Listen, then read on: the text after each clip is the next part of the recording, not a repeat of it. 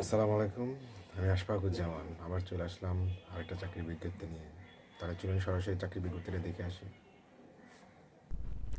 ভিডিওটা শুরু করার একটা কথা বলে নেই। আপনারা যে যেখানে আছেন, সাবধানে থাকবেন, সতর্ক থাকবেন আর প্রতিদিন চাকরির ভিডিও পেতে চ্যানেলটা সাবস্ক্রাইব করে পাশে থাকা নোটিফিকেশন বাটনটা ক্লিক করে রাখবেন।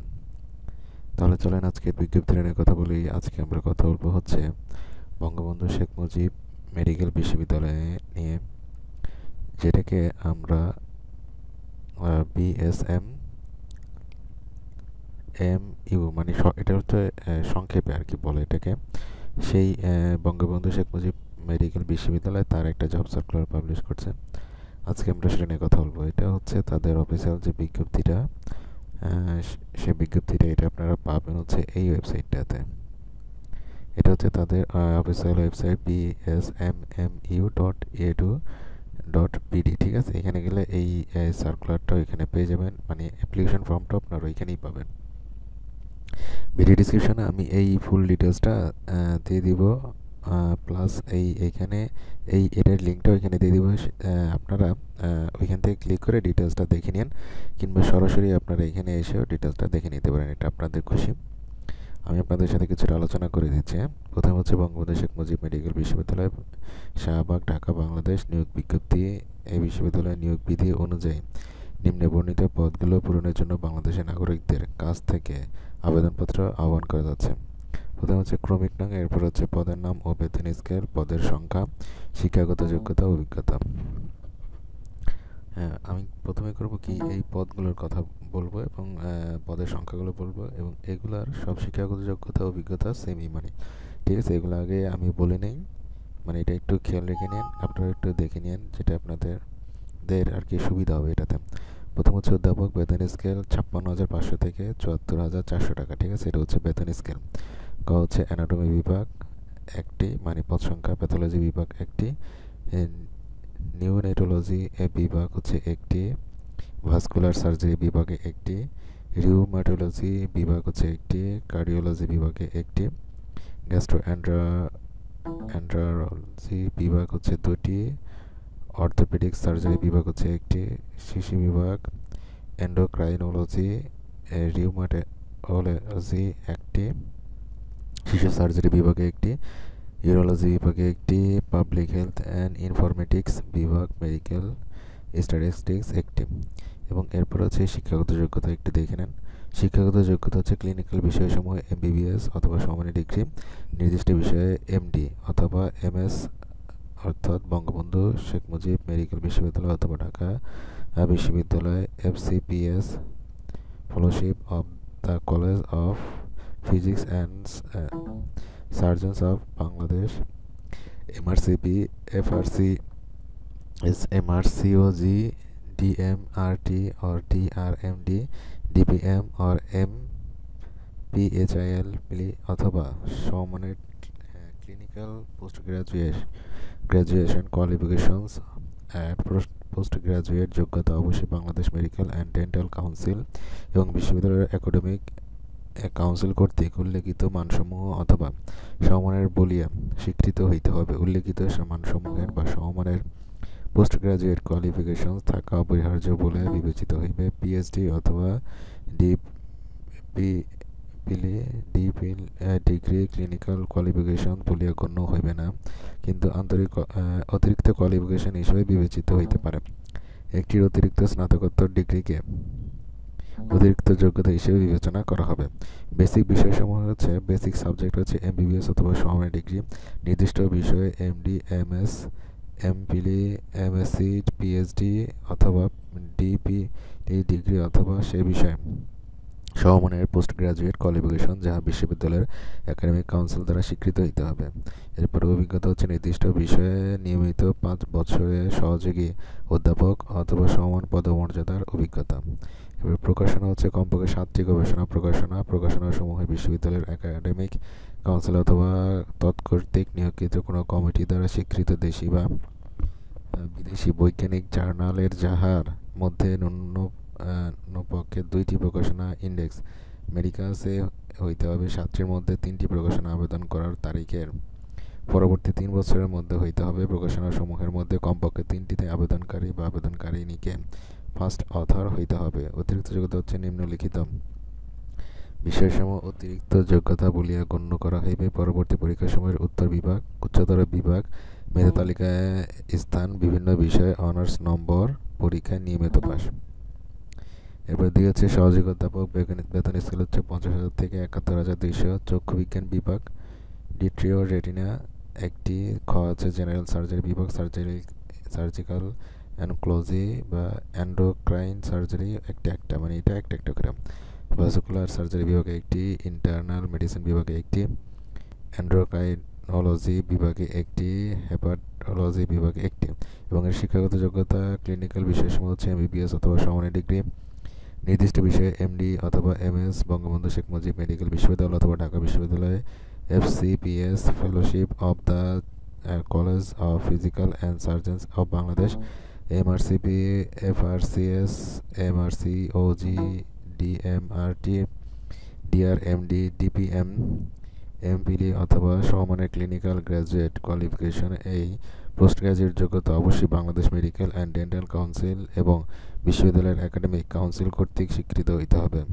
উল্লেখিত মানসমূহের অথবা সমমানের পোস্ট গ্রাজুয়েট কোয়ালিফিকেশন থাকা অপরিহার্য বলিয়া বিবেচিত হইবে। ডক্টর পিলি ডিগ্রি ক্লিনিক্যাল।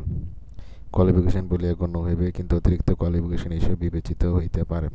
একটির অতিরিক্ত স্নাতকোত্তর ডিগ্রিকে অতিরিক্ত যোগ্যতা হিসেবে বিবেচনা করা হইবে। এরপরে হচ্ছে পাশে চলে যাই যে ছ হচ্ছে কার্ডিওলজি বিভাগ ক্লিনিক্যাল কার্ডিওলজি ইন্টারভেনশনস কার্ডিওলজি এটাতে দুইটা দুইটা। এরপর গ্যাস্ট্রো অ্যান্ট্রোলজি বিভাগে একটি, এরপর শিশু নেফ্রোলজি বিভাগে একটি। সার্জারি বিভাগে একটি, অপস অ্যান্ড গাইনি বিভাগে একটি নিউরো সার্জারি বিভাগ। এর মধ্যে ভাস্কুলার নিউরো সার্জারি একটি, আর নিউরো স্কালবেস নিউরো সার্জারিতে একটি। কার্ডিয়াক সার্জারি, শিশু কার্ডিয়াক সার্জারি বিভাগে একটি। বায়োকেমিস্ট্রি ও ম্যালিকুলার বায়োলজি বিভাগে একটি বা গ্রন্থনিক্স বিভাগে একটি। এরপর বেসিক বিশেষম এই যে এটার কিন্তু, এই যে এটার ইটা হচ্ছে এই পাশে, ঠিক আছে? এরপর বেসিক সাবজেক্ট হচ্ছে এমবিবিএস অথবা সমানের ডিগ্রি নির্দিষ্ট বিষয়ে। বিষয়ে MD MS MPhil MSc PhD অথবা ডিপিলি ডিগ্রি অথবা সে বিষয়ে সমানের পোস্ট গ্রাজুয়েট কোয়ালিফিকেশন যাহা বিশ্ববিদ্যালয়ের একাডেমিক কাউন্সিল দ্বারা স্বীকৃত হইতে হবে। অভিজ্ঞতা হচ্ছে নির্দিষ্ট বিষয়ে নিয়মিত তিন বছরের সহকারী অধ্যাপক অথবা সমানের পদে শিক্ষাগত শিক্ষাগত মানে এই এই সেমটাই মানে মোটামুটি সেমটাই এটাই, এটাতে। এরপর প্রকাশনা হচ্ছে কমপক্ষে পাঁচটি গবেষণা, প্রকাশনা, প্রকাশনার সময় বিশ্ববিদ্যালয়ের একাডেমিক কাউন্সিল কর্তৃক অথবা তৎকর্তৃক নিয়োগকৃত কোনো কমিটি দ্বারা স্বীকৃত দেশি বা বিদেশি বৈজ্ঞানিক জার্নাল যাহার দ্বারা মধ্যে ন্যূন পক্ষে একটি প্রকাশনা ইন্ডেক্স মেডিকাসে হইতে হবে পাঁচটির মধ্যে অন্তত দুইটি প্রকাশনা আবেদন। করিবার তারিখে পরবর্তী দুই বছরের মধ্যে হইতে হবে। প্রকাশনা সময়ের মধ্যে কমপক্ষে দুইটিতে আবেদনকারী বা আবেদনকারিণীকে ফার্স্ট অথর হতে হবে। অতিরিক্ত যোগ্যতা হচ্ছে নিম্নলিখিত বিষয়সমূহ অতিরিক্ত যোগ্যতা বলিয়া গণ্য করা হবে।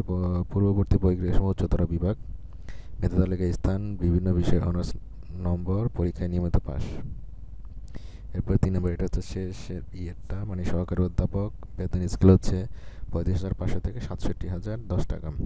আমি সিরিয়ালি এগুলো বলে নেই। পদগুলো অ্যানাটমি বিভাগে দুইটি ফিজিওলজি বিভাগে একটি চক্ষু বিজ্ঞান বিভাগে দুইটি ভাস্কুলার সার্জারি বিভাগে একটি অ্যান্ড্রোকাইনোলজি বিভাগে একটি নেফ্রোলজি বিভাগ রেনাল ট্রান্সপ্ল্যান্ট অ্যান্ড ডায়ালিসিস একটি নেফ্রোলজি জেনারেলে একটি।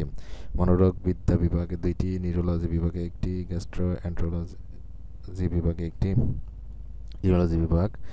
পেডিয়াটিক ইউরোলজিতে একটি ইউরোলজি জেনারেলে একটি অর্থোপেডিক সার্জারি বিভাগে দুইটি কলোরেক্টাল সার্জারি বিভাগে একটি oral and maxillo facial surgery বিভাগে একটি গ্রন্থ প্রন্থোডন্টিক্স বিভাগে একটি।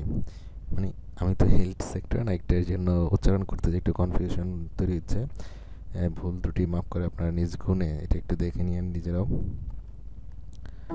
এরপরে হচ্ছে শিক্ষাগত যোগ্যতা ক্লিনিক্যাল বিষয়সমূহে এমবিবিএস অথবা সমমানের ডিগ্রি নির্দিষ্ট বিষয়ে এমডি অথবা এমএস বঙ্গবন্ধু শেখ মুজিব মেডিকেল বিশ্ববিদ্যালয় অথবা ঢাকা বিশ্ববিদ্যালয় F FCPS fellowship of the the college of physicians and surgeons of Bangladesh MRCP FRCS MRCOG DMRT DRMD DPM MPhil অথবা সমমানের clinical graduate post graduation qualification এই পোস্ট গ্রাজুয়েট যোগ্যতা অবশ্যই বাংলাদেশ মেডিকেল ও ডেন্টাল কাউন্সিল এবং বিশ্ববিদ্যালয় একাডেমিক কাউন্সিল কর্তৃক স্বীকৃত হতে হবে। উল্লেখিত মানসমূহে অথবা সমানের পোস্ট গ্রাজুয়েট কোয়ালিফিকেশন থাকা অপরিহার্য বলিয়া বিবেচিত হইবে। পিএইচডি অথবা ডিপিলে ডিগ্রি ক্লিনিক্যাল কোয়ালিফিকেশন বলিয়া গণ্য এবং কিন্তু অতিরিক্ত কোয়ালিফিকেশন হিসেবে বিবেচিত হইতে পারে। একটি অতিরিক্ত স্নাতকোত্তর ডিগ্রি অতিরিক্ত যোগ্যতা হিসেবে বিবেচিত করা হয় বেসিক বিষয়সমূহ হচ্ছে এমবিবিএস অথবা সমানের ডিগ্রি, নির্দিষ্ট বিষয়ে MD MS MPhil MSc PhD and DPhil degree অথবা সে বিষয়ে সমানের পোস্ট গ্রাজুয়েট কোয়ালিফিকেশন যা বিশ্ববিদ্যালয়ের একাডেমিক কাউন্সিল দ্বারা স্বীকৃত হইতে হইবে। এরপরে খ হচ্ছে প্রকাশনা কমপক্ষে তিনটি গবেষণা, প্রকাশনা প্রকাশনা সমূহে বিশ্ববিদ্যালয় একাডেমিক কাউন্সিল কর্তৃক অথবা তৎকর্তৃক নিয়োগকৃত কোনো কমিটি দ্বারা স্বীকৃত দেশীয় বিদেশি বৈজ্ঞানিক জার্নাল হইতে হবে। অতিরিক্ত যোগ্যতা, নিম্নলিখিত বিষয়সমূহ, অতিরিক্ত যোগ্যতা বলিয়া গণ্য হইবে এক হচ্ছে পরবর্তী পরীক্ষাসমূহের উচ্চতর বিভাগ মেধা তালিকায় স্থান, বিভিন্ন বিষয় অনার্স নম্বর, পরীক্ষায় নিয়মিত পাস। এই শিক্ষাগত যোগ্যতা এবং কোয়ালিফিকেশনগুলো যেগুলো আছে না, এটা প্রায় সেম এই সবগুলো প্রায় সেমই একই রকম। এবারে সত্তাবলী হচ্ছে প্রার্থীগণকে রেজিস্টার বঙ্গবন্ধু শেখ মুজিব মেডিকেল বিশ্ববিদ্যালয়ের অনুকূলে পুবলি ব্যাংক লিমিটেড, ঢাকার শাহবাগ ইউনিট শাখার ওপর এক হাজার টাকার অফেরতযোগ্য ব্যাংক ড্রাফট পে অর্ডার সহ নিম্ন স্বাক্ষরকারী। অফিসে অথবা বিশ্ববিদ্যালয়ের ওয়েবসাইটে প্রাপ্ত নির্দিষ্ট আবেদনপত্রে দশ কপি আবেদন, পাসপোর্ট আকারে দশ কপি, রঙিন ছবি, দশ কপি গবেষণা, প্রকাশনার ফটোকপি, শিক্ষকবৃন্দের ক্ষেত্রে দশ কপি বিএমডিসির হালনাগাদ রেজিস্ট্রেশনের ফটোকপি, দশ সেট। সকল সার্টিফিকেটের ফটোকপি আগামী দুই তিন দুই হাজার একুশ তারিখে বেলা দুইটা তিরিশটার মধ্যে নিম্ন স্বাক্ষরকারীর অফিসে পৌঁছাতে হবে। মানে এটার লাস্ট হচ্ছে তিন আর ফেব্রুয়ারি এটার লাস্ট ডেট হচ্ছে মার্চ মার্চের দুই তারিখ। সো তাড়াতাড়ি করে ফেলেন যারা অ্যাপ্লাই করতে চান। চাকরিরত প্রার্থীগণকে যথাযথ কর্তৃপক্ষের মাধ্যমে আবেদন করতে হবে বঙ্গবন্ধু শেখ মুজিব মেডিকেল বিশ্ববিদ্যালয়ের অধিভুক্ত প্রতিষ্ঠান ব্যতীত অন্য কোনো প্রতিষ্ঠানের শিক্ষাগত চাকরির অভিজ্ঞতা গণ্য করা হবে না। সহকারী অধ্যাপক পদে নিয়োগের ক্ষেত্রে বয়সীমা আবেদনপত্র জমার শেষ দিন পঁয়তাল্লিশ বছর, তবে বিভাগীয় প্রার্থীদের ক্ষেত্রে বয়সীমা শিথিলযোগ্য। অসম্পূর্ণ আবেদন বাতিল বলে গণ্য করা হবে। নির্দিষ্ট সময়ের পর প্রাপ্ত আবেদন সরাসরি বাতিল বলে গণ্য হবে। বিশ্ববিদ্যালয় website W dot BSMMU dot edu dot BD থেকে নিয়োগ বিজ্ঞপ্তি ও আবেদনপত্র সংগ্রহ করা যাবে। যে, এই অ্যাড্রেসটা যে এখানে দেখলাম, এখান থেকেই আপনার নিয়োগপত্র, আবেদনপত্র এটা সংরক্ষণ করতে পারবেন। সংগ্রহ করতে পারবেন আর কি। এটা হচ্ছে অধ্যাপক A B M Abdul Hannan registered এটা তার বরাবর আর কি আপনাকে এই সবগুলো পেপার জমা দিতে হবে আর কি। ভিডিও ডিসক্রিপশনে একটা লিঙ্ক দিয়ে দেবো, সেটা ক্লিক করলে এই ডিটেলসটা পেয়ে যাবেন। এই ডিটেলসটা শর্ট ঠিক আছে? এটা ক্লিক করলে জুম হয়ে যাবে। এবং এই অ্যাড্রেসটাতে ডিটেলস পেয়ে যাবেন আবেদনপত্রের পেয়ে যাবেন, এই যে দেখেন ডাইনে লেখা আছে। এই অ্যাড্রেসটাতে গেলেই নিয়োগ বিজ্ঞপ্তি এবং আবেদনপত্র সংগ্রহ করতে পারবেন। কোনো সমস্যা হলে ভিডিও নিচে কমেন্ট করেন, আমি যতটুকু জানি জানানোর চেষ্টা করব আর ভিডিওটা ভালো লাগলে ভিডিওটা লাইক দিয়ে চ্যানেলটা সাবস্ক্রাইব করে রাখবেন। তাহলে আজকে পর্যন্ত, ভালো থাকবেন, আল্লাহ হাফিজ।